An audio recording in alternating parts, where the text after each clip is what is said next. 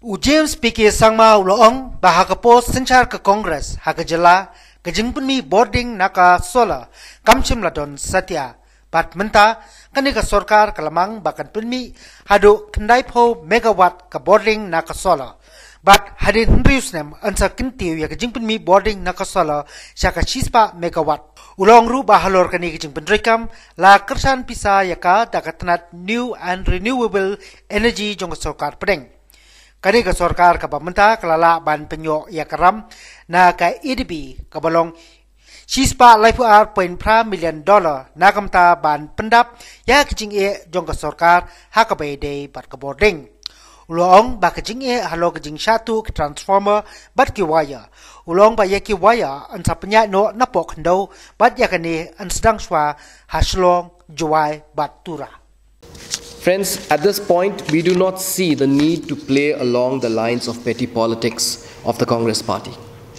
If they have chosen that path, path, perhaps that is the only way they feel that they can stay relevant. Our vision and diligence is clear, as our primary accountability partners are the citizens of the state of Meghalaya. Hence, with the need to inform the people, there, here are some of our achievements and future plans of action. In the state of Meghalaya, previously not a single megawatt worth of solar power was produced. There have been many projects and they have never seen the light of day. After the NPP led government came into power, 90 megawatts worth of solar power has been sanctioned and initiated for the state. Focusing on more power generation, we will be adding 100 megawatts of solar generation in the next six months for which the tendering process is presently going on. As a matter of fact, Meghalaya has received the highest sanction for this from the Ministry of New and Renewable Energy, Government of India. Uh, the government has also managed to bring in an ADB grant worth $132.8 million for the state of Meghalaya to overcome its power related issues and challenges. Apart from that, to reduce unfortunate incidents of electrocution due to, non, uh, due to no fencing of transformers or exposed wiring, we have decided to go for 100% underground cabling in Shillong, Tura, and Jowai. We have also decided to replace old wires with uh, uh, aerial bunched cables in rural areas in the ADB Phase 2 program. The AB cables will be insulated and hence mitigate all the risks and also reduce theft at the same time. This will not only reduce dangers but also ensure aesthetic beauty of the city. Additionally, renovation and modernization of hydropower projects is also under process and will be completed in 6 to 8 months time. This will help us to increase the efficiency and help in more generation. The government is also planning to upgrade 2,214 kilometers of distribution lines in the state to minimize losses and improve efficiency of electricity transmission to the houses of consumers. These are just some of the interventions that we have um, we have initiated and these we are very confident will not just improve the efficiency, will not just um, uh, reduce AT&C losses, will not just reduce transmission and distribution losses, uh, but will also help in uh, increasing the revenue generation of the MECL. So um, underground cabling, as we know that um, uh, this is uh, something which is being adopted by many countries abroad.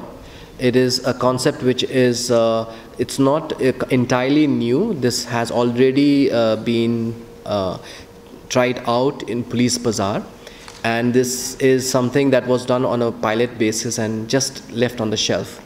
And we decided that. Um, uh, this is not just to improve the aesthetic look of the city because it is definitely an eyesore. What we see lie, uh, wires strung across the city, and these are very haphazard, uh, you know, most of the times. And uh, there are also issues of um, um, certain seasons wherein uh, these uh, wires they touch each other because of uh, you know gale uh, uh, you know strong winds and there have been instances where wires have snapped because of that uh, and these pose a great risk to the public so keeping all these things in consideration into consideration we decided that aerial sorry underground cabling is the solution to such kind of problems so every time uh, we want to, before the rainy season start, um, uh, the MECL cannot just go and uh, trim any of the branches of any of the trees without taking permission from the forest department. That becomes a very lengthy process, and in the meantime, uh, you know, things could go wrong. So a long-term solution to this is just to bring those uh, cables and take them underground uh, number one, you reduce the risk of such things happening. Number two, the aesthetic appeal of the city goes up.